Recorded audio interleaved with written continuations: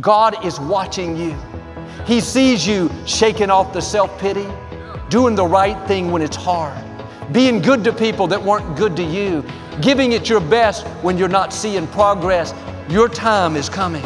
Suddenly, doors are going to open. Suddenly, the right people will show up. Suddenly, you'll see promotion, vindication, dreams coming to pass bigger than you've imagined.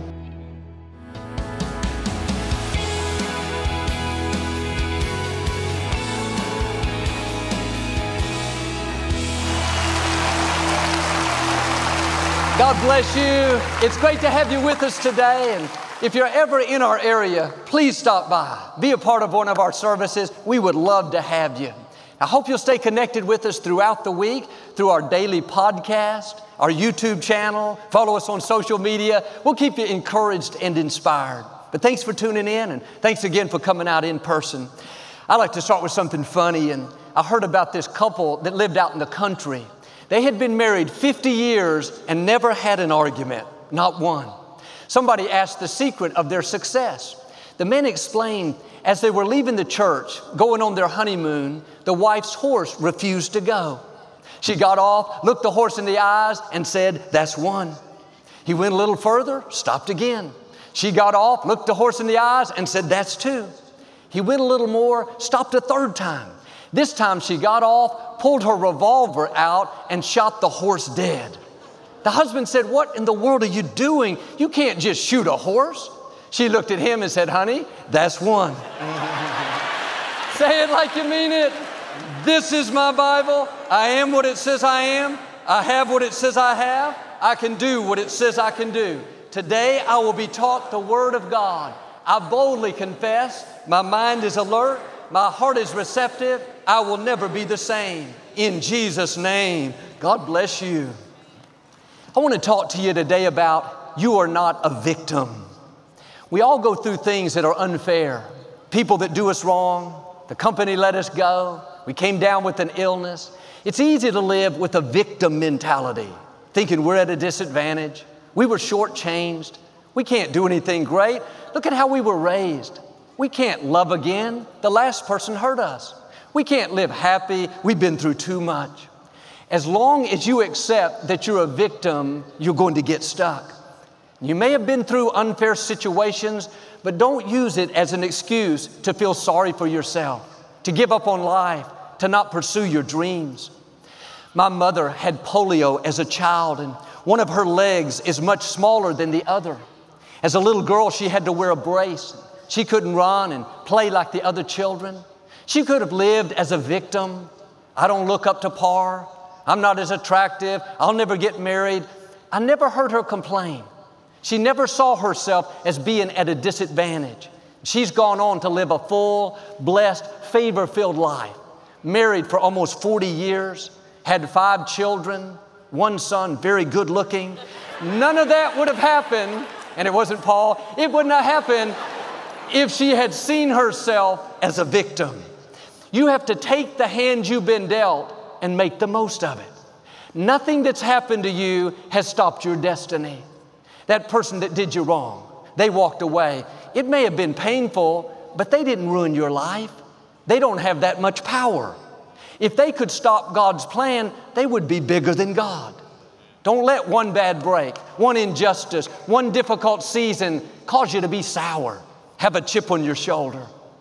When my father went to be with the Lord, I lost my best friend. I had worked with him day in and day out for 17 years. We'd traveled the world together. Suddenly, he was gone. I was tempted to thank God, where are you? This isn't fair. Why did this happen? When we go through loss, things we don't understand, that victim mentality will always come knocking at the door. We have to make the choice. Are we going to live bitter, discouraged, thinking we're a victim of our circumstances, we're a victim of the loss, a victim of this unfair boss, a victim of this pandemic? Or are we going to believe that God is in control, that He's ordering our steps, that His plans for us are for good? Instead of having a victim mentality, switch over to a victor mentality. That bad break is not how your story ends. The loss, the sickness, the injustice is not going to limit the rest of your life. God said in Isaiah, He will pay you back double for the unfair things that have happened. If you're going to see the double, you have to know that God is going to make it up to you. It may be unfair, but God is a just God. He saw what happened, He knows who hurt you, what you lost, what you're struggling with. He's not going to just bring you out, He's going to bring you out better. Get rid of that victim mentality. Quit dwelling on who hurt you, what you lost. You're not a victim. God always causes you to triumph. That bad break wasn't fair. You didn't like it, but what you can't see is it set you up for double.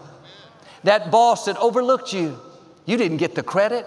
You could feel like a victim. No, get ready. God's going to make it up to you. That sets you up for promotion, increase, favor that you wouldn't have seen if that had not have happened. Here's the key. Nobody can make you be a victim. They can do things that are not fair. You can go through things you don't like, you don't understand, but none of that can force you to have a victim mentality. You have to give permission to become a victim. You have to make that choice. I'm at a disadvantage. This bad break has stopped my future. I'm asking you to not give permission. Don't allow that victim mentality to enter your thinking. When unfair things happen, thoughts will whisper, just your luck, another bad break. You're scarred now. Life will always be difficult. That's when you have to dig down deep and say, No thanks. I refuse to be a victim. I refuse to live bitter, angry, thinking that I've been shortchanged. I know God is still on the throne. I know He didn't bring me this far to leave me. What was meant for my harm, He's turning to my advantage. Think about Joseph in the scripture. As a teenager, his brothers were jealous of him and threw him into a pit. They ended up selling him as a slave. Joseph was working in Egypt, a foreign country, for a man named Potiphar. His dreams were shattered. He lost his freedom. In one sense, he was a victim of his brother's jealousy, a victim of bad breaks. He had plenty of reasons to have this victim mentality, but Joseph didn't go there. He didn't sit around in self pity. He didn't give up on life.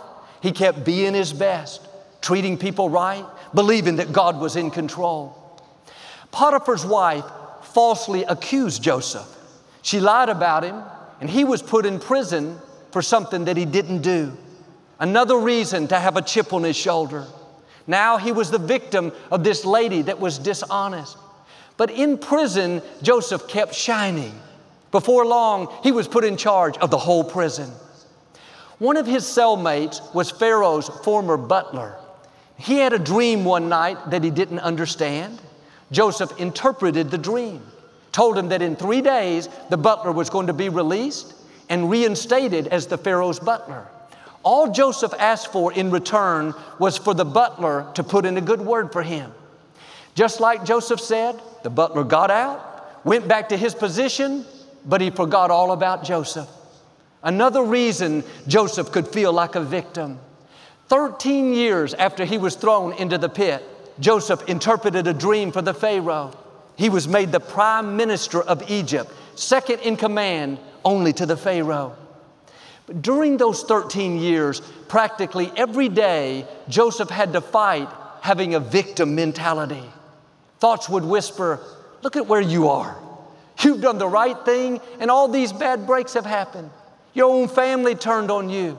This lady lied about you. It's never going to change. Just accept it. Joseph's attitude was, I refuse to be a victim. I'm not a victim of my brother's jealousy, not a victim of this lady that lied about me, not a victim of this butler that's forgotten about me. They did me wrong, but God said He would make it up to me. They forgot about me, but God remembers me. They tried to push me down, but I know God will lift me up. What's interesting is all the bad breaks, all the betrayals, the rejection was a part of God's plan. That's what led him to see his dream come to pass. If Joseph had seen himself as a victim, he would have missed his destiny. If he had been bitter about his brothers, angry over Potiphar's wife, in self pity because the butler forgot about him, we wouldn't be talking about Joseph. And this didn't happen automatically. He refused to be a victim. He refused to let his mind rehearse all the negative things.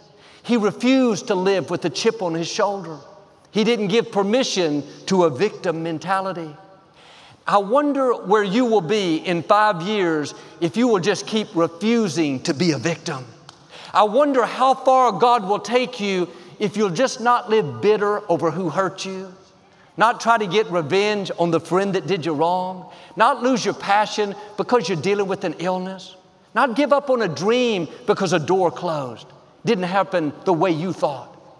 Every voice will say, You're a victim. Come on, accept it. It's not fair. God's forgotten about you. Don't give it the time of day. God is watching you. He sees you shaking off the self pity, doing the right thing when it's hard, being good to people that weren't good to you, giving it your best when you're not seeing progress. Your time is coming. Suddenly, doors are going to open.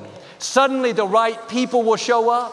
Suddenly, you'll see promotion, vindication, dreams coming to pass bigger than you've imagined. But when we say we're a victim, we're saying what someone did to me has limited my future. People don't have that kind of power over you. Circumstances cannot stop what God has ordained for your life. The scripture says, What God has purposed, who can annul? The only way it will stop you is if you start living like a victim, discouraged, in self pity. Shake that off. Those disappointments are setting you up for double. That betrayal, the closed door, the person that tried to make you look bad, it looks like they succeeded. You didn't get the promotion. God saw it. It was a part of His plan. It's setting you up for something bigger than you've imagined. Joseph could have been bitter after his brothers threw him into the pit. That wasn't fair, but it was a step on the way to his destiny. And what you can't see is that bad break is leading you to a new level. Potiphar's wife falsely accused Joseph, caused him to be put in prison. Joseph didn't understand it at the time, but that was a necessary step to get him to the throne. We're not going to understand everything that happens along the way. There will be plenty of opportunities to be a victim. These are tests. Will you keep the right attitude when it's not fair? You feel like being discouraged? Why did this happen? No, refuse to be a victim. Don't play that role. It may have been meant for your harm, but at some point, like with Joseph, God is going to turn it to your advantage. It's going to catapult you where you can't go on your own. I met a young couple from New Orleans. They had just bought their first house there. They were excited. The man had a good job, moving up in his company. They had a little baby on the way, their first child. Life was good. Then the storm Katrina hit, wiped out their whole neighborhood. They lost not only their home, but all their possessions, their car, their clothes. His company closed down, didn't have a job. They moved to Houston with just the clothes on their back. When I saw them, they were numb. Their whole world had fallen apart. Everything in their thinking said, You're a victim. Just accept it. Life will never be what it could have been. I told them what I'm telling you that God knows what you've been through. He's seen the tears you've shed, the heartache you've felt. He's not going to just bring you out, He's going to make the enemy pay, but you have to do your part and refuse to be a victim. Refuse to live bitter, in self pity, thinking you've seen your best days. I could see faith begin to rise in their hearts. Week after week, they kept coming to Lakewood, hearing about how God is fighting our battles. Several years later, I met them after service. They had just moved in to their new house that they had built here. The man has a better job with better income, less travel. They don't just have one child, they have two children. They said, Joel, we never dreamed we could be where we are today. That's what happens when you refuse to be a victim. When you say no thanks to bitterness, no thanks to self pity, no thanks to living defeated, God will take what was meant for harm and turn it to your advantage. But as long as you're playing the role of victim, you're giving the enemy permission to keep you defeated. And some of you have come from generations of abuse, mistreatment, things that were not fair. That victim mentality can be passed from generation to generation. We've always been poor, defeated, shortchanged. Look what we've been through. We have a good reason to feel like a victim. This forever the victim mentality will try to take root. It will continue to be passed down until someone rises up and puts an end to it. And yes, there was injustice in the past. Yes, there were things that were not fair, but this is a new day. The reason you're hearing this is because you're the one to break the cycle. You're the one to say, I am not a victim, I am a victor. I'm going to set a new standard. I'm to believe for better things. I'm going to live whole, free, expecting favor. When you have that kind of attitude, all the things that should have been yours, all the things that your relatives didn't get, what they were owed, in the scripture, the first generation that had this new mindset, they were the ones that God paid back for all that belonged to their family. If you will be the first one to have this victor mentality, you will see God show out in amazing ways. Don't look to people to pay you. People can't make up for what you didn't get, only God can. He knows what you're owed, He knows what should have been yours. The Israelites had been in slavery for 10 generations. All they knew was hardship, being mistreated, working long hours with no pay. It wasn't fair, but God was keeping the records. After 430 years, God delivered them from the Pharaoh and brought them out of Egypt. You can imagine how they had become comfortable being a victim. It's all they had known. Their parents, their grandparents, they were all slaves, all mistreated. On the way to the promised land, when they faced adversity, opposition that was bigger, they said to Moses, Let's go back to Egypt. Let's go back to being slaves. They were saying, We're okay with being a victim. That's normal to us. That's what we're used to. They came out of Egypt but Egypt never came out of them. What's interesting is when they were leaving, God caused the Israelites to have favor with their oppressors, and they gave them their gold, silver, and fine clothing. They didn't leave empty handed. God paid them back for 430 years of working for free. In Exodus 3, God told them what to do with the gifts they received. He said, You are to dress your sons and daughters in this jewelry and fine clothing. Why would God want them to get their children dressed up? They were about to go into the desert. It's because God wanted these children to see themselves differently. They saw themselves like their parents, as slaves, as victims, poor, defeated, limited. God knew if they were going to go into the promised land, they had to get rid of that victim mentality. He didn't have the parents put on the nice clothes, didn't have the grown ups wear the fine jewelry. He wanted to change the image of these small children. I can imagine a mother putting a gold necklace on her little daughter. Her face brightens up like never before. Father putting a ring on his son. He puts his shoulders back, feeling so special. These children had worn old hand me down clothes, dirty, raggedy. Now the parents are dressing them in beautiful dresses, nice, clean outfits. For the first time, these children begin to see themselves as victors. It's significant that the parents and grandparents, they never made it into the promised land. It's because they never got rid of a victim mentality. They never quit seeing themselves as anything but poor, at a disadvantage. These children had a different mindset. It started when they put on the new clothing, the nice jewelry, something shifted in their thinking. They thought, maybe we're not victims. Maybe we're not always going to struggle. Maybe we can live an abundant life. Victory starts in your thinking. As long as you feel like a victim, it's going to limit your destiny.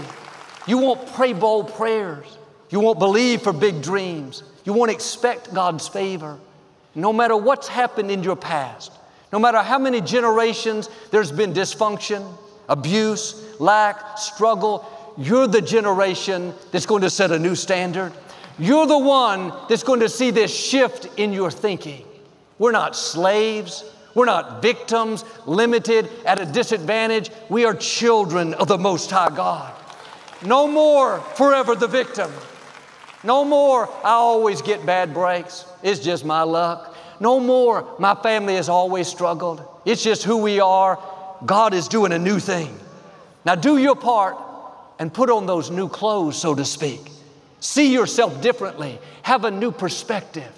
You're not a victim of your past, a victim of who went before you, a victim of what didn't work out. You are a victor. God is about to release freedom, wholeness, abundance, favor like you've never seen. You've been raised up for such a time as this to make a difference, to take your family to a new level. I heard about this father. He was an alcoholic. He had small twin boys. Growing up, he would get drunk and mistreat them. He was angry and mean. He would say things that were hurtful, curse them out. These boys grew up into young men and left home as soon as they could. One son became an alcoholic. He drank, partied, never did anything productive. Someone asked him why he drank so much. He said, Because my father was an alcoholic. That's all I've seen. I had a terrible childhood. What do you expect? The other son became very successful. He was running a large company, talented, disciplined, respectful. After work, his colleagues noticed that he never touched alcohol. They asked him why he didn't drink. He said, Because my father was an alcoholic. They both went through the same experience, but one son got stuck being a victim. The other son used what he saw growing up to inspire him to be better. He refused to be a victim any longer. Which son are you? We're all going to go through things that are not fair. The question is are you going to continue being a victim or are you going to refuse to be a victim? You can't be a victim and go into your promised land. The enemy would love to convince you to be forever the victim. Always some reason to not move forward. I wasn't raised right. My cousin hurt me. I came down with this illness. I lost a loved one. I'm not making light of any of that. I know it's not easy. But you can't move forward if you're playing the victim role. God saw it wasn't fair. He knows it was painful. But staying a victim will keep you in pain. It will bring more heartache. You have to turn it over to God and live out of a place of wholeness, freedom, victory. Starts in your thinking. People may have done me wrong, but God will make it up to me. I'm leaving it up to Him. I wasn't raised in a healthy environment, but that's in the past. It didn't stop my destiny. I'm dealing with this illness, lost a family member. My company let me go. It was difficult, but I'm not bitter. I don't have a chip on my shoulder. I know God is going to cause all things to work out for my good. There was a young woman in California riding her mountain bike up the trails of the state park like she had done many times before. As she was speeding down the mountainside, she noticed a blur out of the corner of her eye. She thought it was a deer, but it was a mountain lion leaping toward her. Knocked her to the ground, bit her face, and wouldn't let go. All she could do was whisper, Jesus. Her friend threw her bike at it, but the lion kept dragging her all the way to the ravine. She passed out, thought she was done. She woke up in the hospital. Miraculously, her life was spared. Half of her face was disfigured. She had 40 bite marks across her body, 200 staples holding her skin together. She had to have six surgeries to repair the damage. Everyone referred to her as the victim of the mountain lion. And that's true in one sense, but I don't believe it's healthy to live thinking you're a victim. Negative things may have happened, but don't let what you've been through become your identity. Don't become known as the person that went through the tragedy, the person that lost their loved one, the man that lost his job. That's what happened to you. That's not who you are. When this young lady got out of the hospital, she told her friends that she wanted to go back to the trail where she was attacked. They were surprised and asked why. She said, I'm not going to be a prisoner of this drama. I'm not going to let what's happened to me define who I am and cause me to live angry, bitter, and afraid. She was saying, I'm not going to be forever the victim. This incident is not going to ruin the rest of my life. Today, she's healthy, free, moving forward, raising her children. We all have these opportunities to become a forever victim. We can't get past it. It was too traumatic. They hurt me too badly. This disappointment too painful. This loss too much. That's when you have to do like her and say, I refuse to be the victim. I refuse to let this limit my passion, cause me to give up on my dreams. That's what allows God to pay you back for the wrongs, to bring beauty out of the ashes, to give you double for the unfair things. This is a choice that we have to make all through life. It's not if the hurts come, if you have bad breaks, these things are going to happen. The question is are you going to live bitter, in self pity? Or are you going to say, This wasn't fair, but God, I know you're still on the throne. It was a bad break, but you said you would pay me back. They did me wrong, but you're my vindicator. I'm going to trust you and move forward with my life. Don't get stuck in the desert like the Israelites because you have a victim mentality. Be like their children. Put on a new attitude. See yourself a different way so you can go into your promised land. This is a new day. No more forever the victim. Try a different approach. Forever the victor. Break that cycle. Where will you be in five years if you'll start refusing to be the victim? This is not going to happen easily. Your feelings will want to feel sorry for yourself. This is when you have to be bold and refuse to be the victim, refuse to play that role. That's not your part. Every unfair thing that's happened to you has set you up for double. God saw it, He's promised to pay you back. Now do your part, play the right role, be the victor. If you'll do this, I believe and declare, like with Joseph, what was meant for your harm, God is turning to your advantage. Like the Israelite children, you're going to go into your promised land. Promotion is coming, restoration, vindication, healing, freedom, abundance, the fullness of your destiny in Jesus' name. And if you receive it, can you say amen today? I'd like to give you an opportunity to make Jesus the Lord of your life. Would you pray with me? Just say, Lord Jesus, I repent of my sins. Come into my heart. I make you my Lord and Savior. If you prayed that simple prayer, we believe you got born again. We'd love to send you some free information, your new walk with the Lord. Just text the number on the screen, or you can go to the website. I hope you'll get into a good Bible based church and keep God first place. Thanks for being a part of our YouTube channel. We post new videos right here every week to keep you inspired and encouraged. When you subscribe to the channel, it helps to get the message of hope around the world. If you've been impacted by our ministry, let us know in the comments below and share this page with a friend. We also want to take a moment and thank you for all you do to support the ministry with your donations and offerings. You help keep the ministry going. When you give, I believe God will open the windows of heaven. You'll see His favor in new ways in your life. I know our best days are still up in front of us. We love you, and we'll see you next time.